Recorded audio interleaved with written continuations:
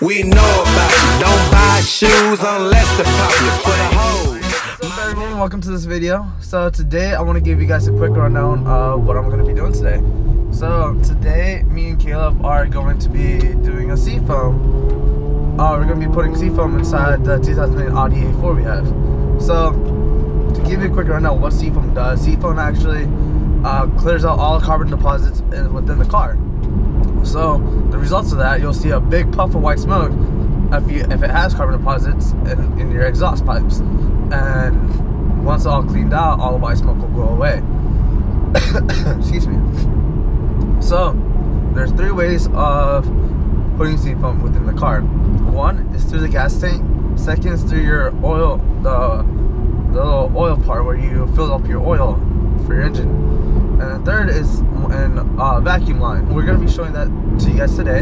So stay tuned and we'll uh, see you soon. guys. So today we are gonna seafoam my Audi A4, and pretty much what I've been reading on a lot of the different forums is that we actually want to use. Um, most people wanted to use about two cans instead of just one can and splitting it three ways um, between your gas tank, your oil, and your vacuum hose um, to get best effects. So I'm actually going to go ahead and use two full cans today on this one.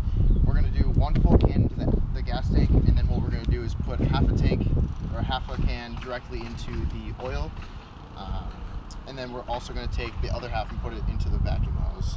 So the reason why we're putting a funnel inside the gas tank is because the gas tank is actually has like a little a blocker there. So we're putting it through a funnel so that way it can open it up. Uh, you can get this stuff at Walmart. You can get it at AutoZone. It's a little cheaper at Walmart. I think like seven dollars a can.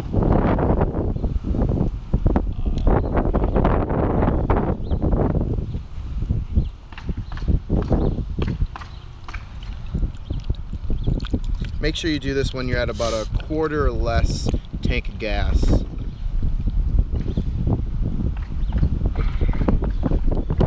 Sorry for all the wind noise, guys. It is really windy outside. Texas weather. And also to keep in mind is after doing a seafoam on the car, you do want to do an oil change within the next 500 to 1,000 miles. The reason why it is going to be thinning the engine oil, so uh, a lot. It's best to do an oil change after that. All right, we're all sit there.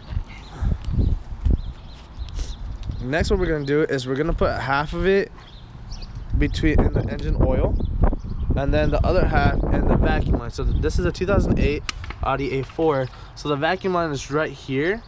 So it was it's it's connected like this. Let me show you. Like this was right over here, just like that, and then we pull this this part off with the plier, and then we're gonna we're gonna put the seafoam into like a plastic cup so that way we can feed it in. Bottoms up. Drink up. Pinky out. You gotta be fancy.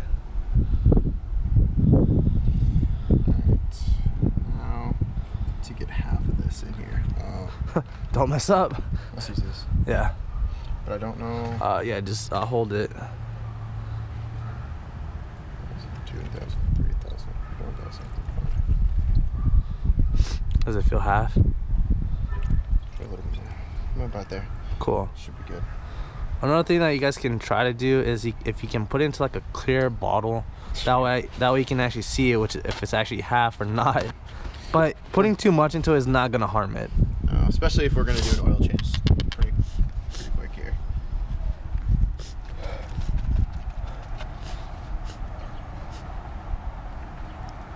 Sweet. A little bit. The way this is going is, let me show you over here.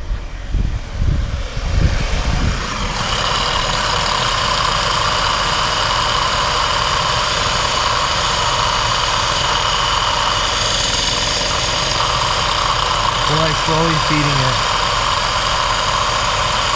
Come on.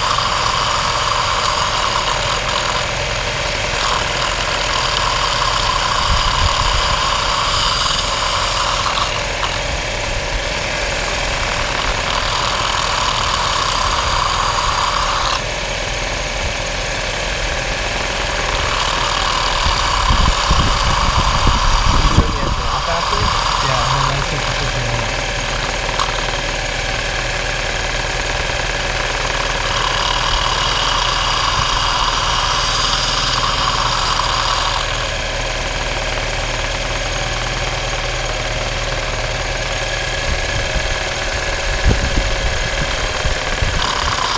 Go, go, go, go. Let go, let go.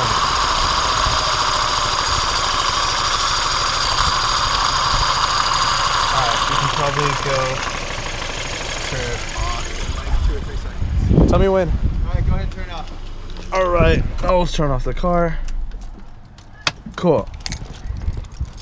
Now, we'll do we'll just reconnect. So what we have to do, we have to let the car sit now for 15 minutes. After, now what we're gonna do, we're just gonna reconnect the clamp from here to here. Fairly simple. Let that run for let it sit for 15 minutes. We'll start the car. We're gonna rev it. We're gonna we're gonna hard rev it for about uh, 10 to 15 minutes, and then see how much actually comes out. And uh, we'll be back in like next 15 minutes. All right, guys. So we got the vacuum line with the seafoam done. We got the oil done, and we got the gas tank. Now we're gonna pretty much just turn it on and let it run for a little bit, and then go from there. and Make sure, make sure it actually turns on.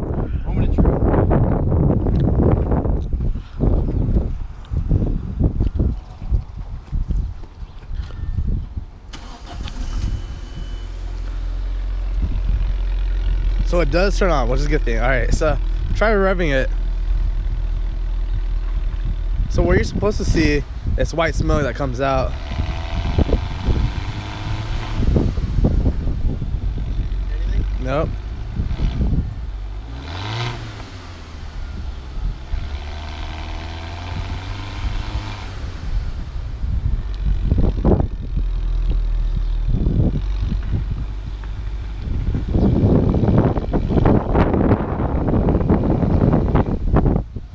Keep going, like rev it hard.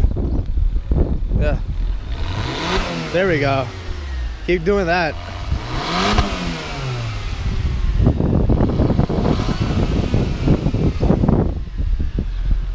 Now, now, now it's coming out. All right. There we go. A little bit. Yeah. It's gotta burn it. Yeah. I don't know if you guys can see that, but it's kind of hard since daylight. Let's see.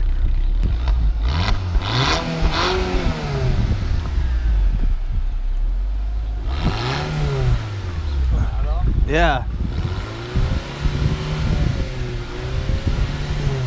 Really don't know if you guys can even see that, to be honest with you guys. Like, hold on, don't rev it right now. Like, you guys can see that it's like a little bit of white smoke. It's coming out. Like, it's hard to see because it's daylight. Yeah, honestly, might be pretty clean. yeah, it could just be that clean. A lot of times when if it doesn't come out, it's usually because it's already clean. There's no carbon deposits that built, that built up. Which would be a great sign. Yeah, which would be a good sign because like we just did this just like we didn't know if the previous owner did it or not. Try, keep revving it. Especially for Audi engineering. That would Yeah, be for Audi engineering that'd be phenomenal. So, did the seafoam, gas tank, oil tank, uh, as well as through the vacuum hose. We were a little skeptical at first. Everything was successful. We actually didn't get as much white smoke as we thought we were going to get. Um, just chalk that up to Audi's engineering team, I guess. Uh, but yeah, everything was successful, and it actually seems to be running just a little bit smoother than it did before.